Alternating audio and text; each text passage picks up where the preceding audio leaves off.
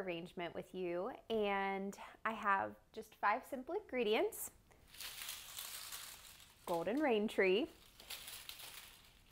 and I have some of the Pieris japonica, foxtail lilies. I have some grass, some, this is the grocery store grass.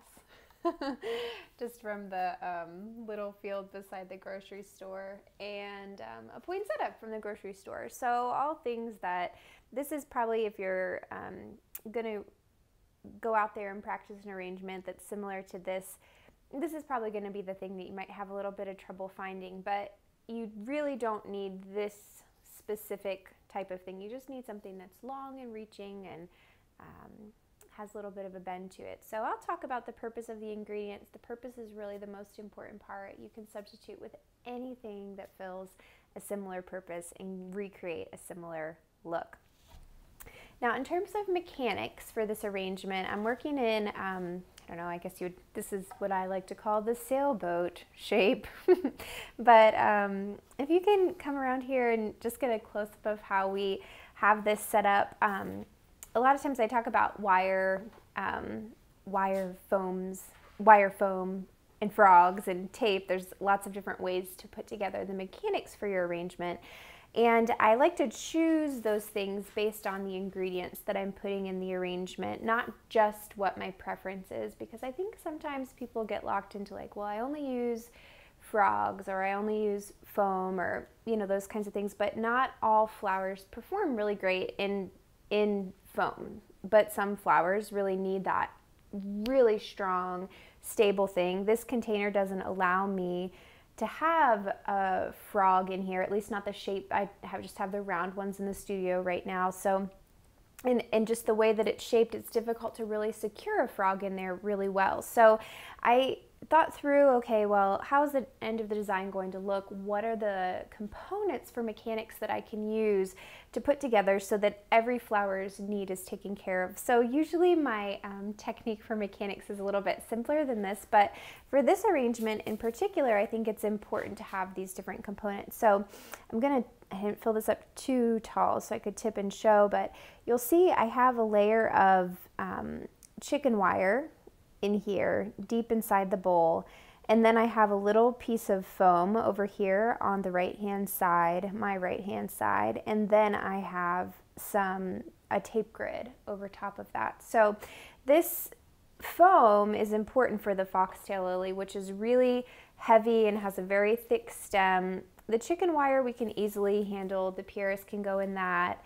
And um, this grass, I didn't put the foam to the edges on both sides because I need a little bit of room for the grass to go right into that chicken wire. So I just wanted to share that with you as you're thinking through arrangements that you could be making. There are all kinds of, you know, you can configure these in any type of way to meet the needs of the flowers, the ingredients, the end place that it's going to really serve your client best and meet their needs. And this one's just going in the house so I'm not, um, you know, concerned about water sloshing in the car or, or anything like that. And if I was, I would just tip out water and refill whenever I got to my destination. But without any further ado, let's go ahead and get started. I am going to begin with the Pieris as the base in my creation here today. And right now we're establishing the shape and the size of the arrangement. And this ingredient, while um, I am going to use the foxtail and the grasses are going to play kind of an important role in shape and size as well.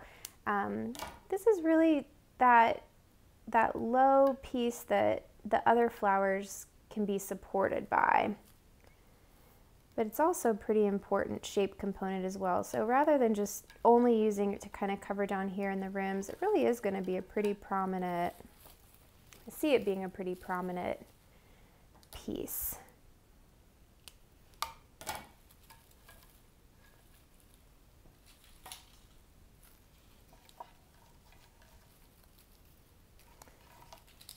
So before I got started, I surveyed all the the ingredients that I had and I kind of thought in my mind like how would I like to go about arranging them? What are their strengths? how can I showcase them the best? And with the Pieris, I really loved the idea of it kind of being dominant on one side, a little bit heavier on one side, but still having a little touch of it over here because I imagine these foxtail lilies shooting up in this area. So that's going to add some visual weight and balance it out over there.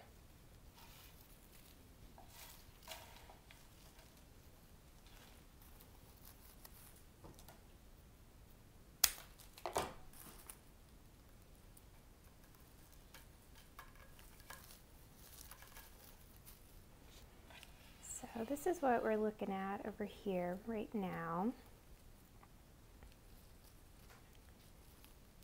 And I'm designing this, I think if I have um, extra ingredients, I might go back in and finish out the back side, but I'm imagining this arrangement with what I have available to me just being one-sided and being placed um, up against a wall and showcased in that light. So it's sort of a silhouetted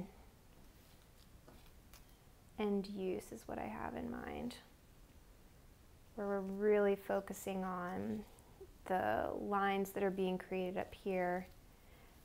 Not as important that we have a finished back in this case.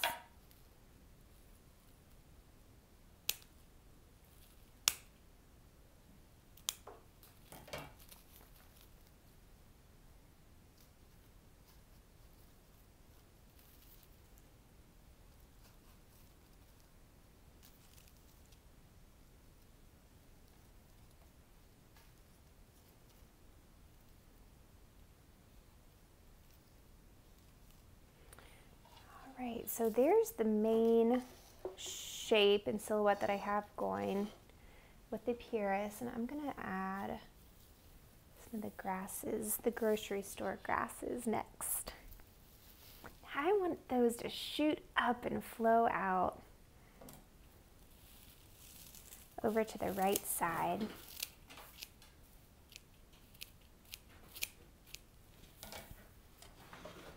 And these aren't something that necessarily need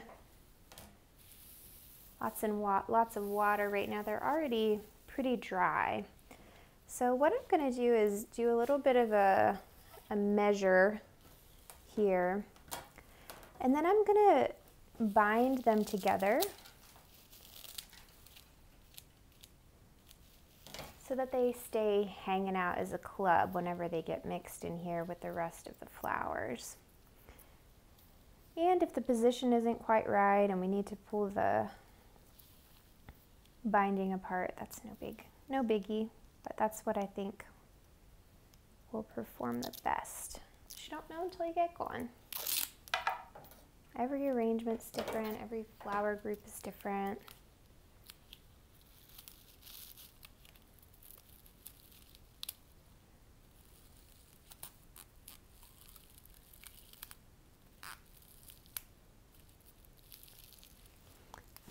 I've just got those together. Now they're all kind of one stem as opposed to being many. That makes it easy to get it situated in here.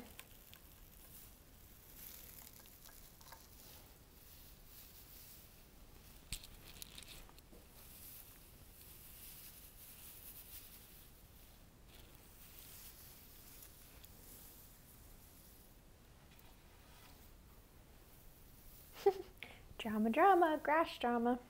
Pretty fun.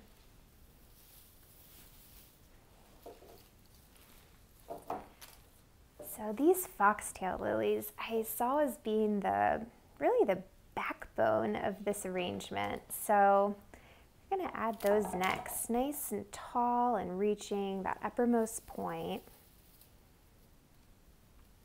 And I thought it would be a fun contrast with these really light grasses. The grasses really give us quite a drama moment too. But these are, these add that touch of stability. And they have so much personality with their little curves.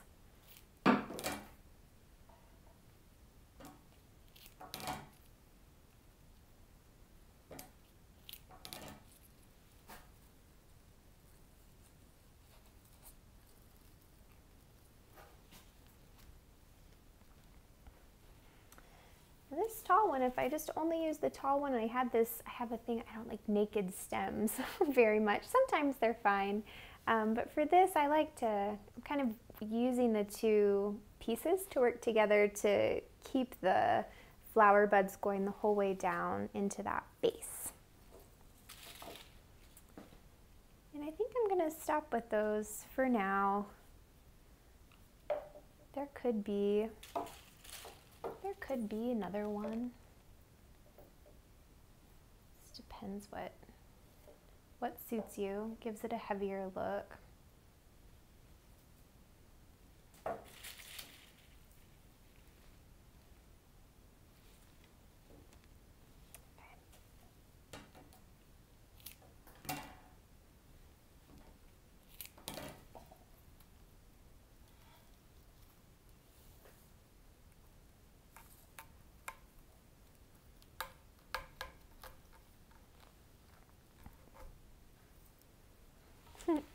See, whenever they're here at this like same angle, they look like little, they look like little, yeah, we're gonna adjust that a little bit. I don't know what littles they look like, but we just need to adjust the height of them so they don't, don't look like, we'll call them ears. Get rid of the ears.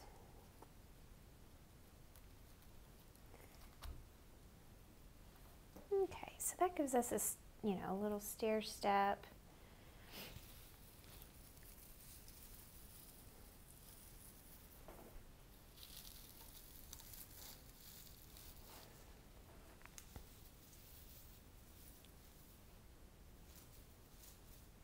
Okay, and the last ingredient, well, we have two more. I've got the rain tree yet. And this I thought would be just pretty coming down and spilling out along with the pieris, just little accent for that.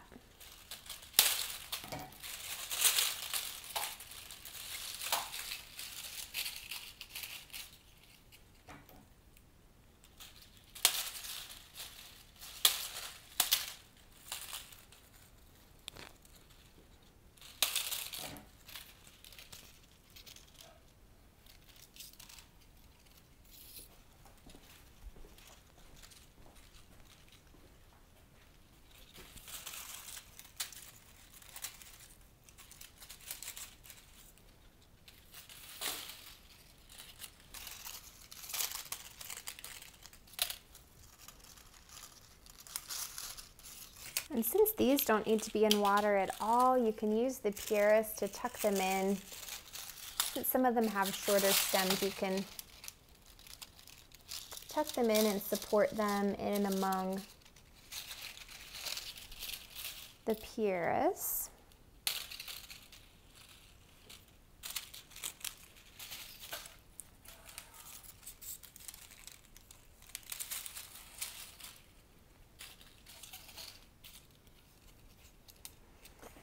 And you'll see I do have, like, there is lots of open space in here. The mechanics are totally visible right now. That's something that we'll address. But whenever you're doing something that is a little bit more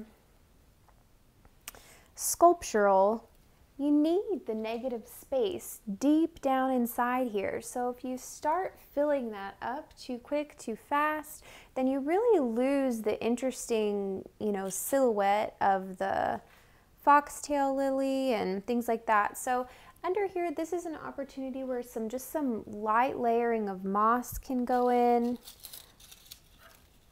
Um, trachelium, things like that that are very flat. And in this case, I'm probably going to do maybe a little bit with the poinsettia, just a leaf kind of over top of the mechanics. Very, very subtle.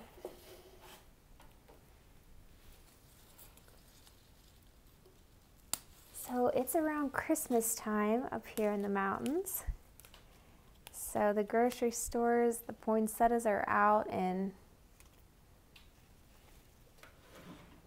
in the masses right now.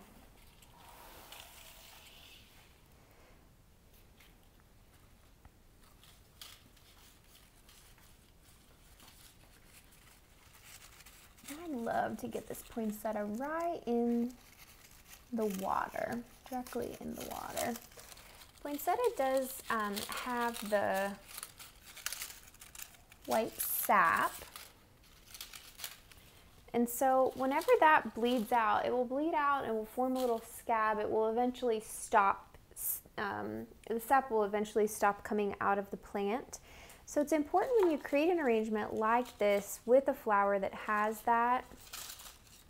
Um, some people recommend, you know, clipping it, putting in water, letting it all, um, letting it all run out, and then switching it into a new bucket. So they say, you know, cut them at the length that you would want when you go in the arrangement. Well, sometimes when you're making the arrangement, you're not quite sure how long you need it to be. So when you're planning, you can clip and, you know, let it sit in a little vase beside you and kind of test it out and then let it drain out and put it back in.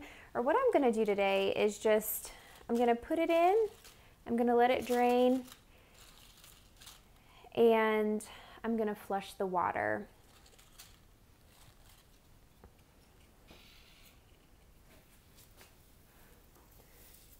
Just want to keep the water clean. But all of these plants are, you know, they're being clipped and they're, you know, taking that first drink.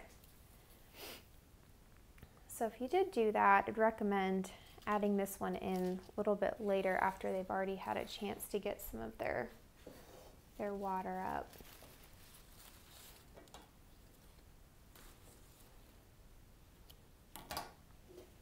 But I could also just clip and pop them in my little little vase here as well. So that is up to you.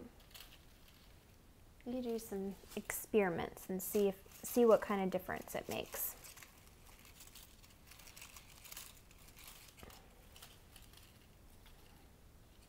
So we're just adding those poinsettias in there. I think I really could have stopped before, but these are that nice little, it's the little focal point. and by little, I mean big. Focal points are big, but I think with this, with the emphasis that we had on the, the shape and the way that the lilies came up and out, I think it could have easily been done before. So we're at that matter of preference point. It's all a matter of preference, actually, but principles are what help guide us. So we can interpret them a lot of different ways. So my dominant principle before I added the focal point could have just been the line of the uh, of the foxtail lily. Works both ways. So, all right. So that's what I that's what I've landed with, and where I'm gonna hang out and quit.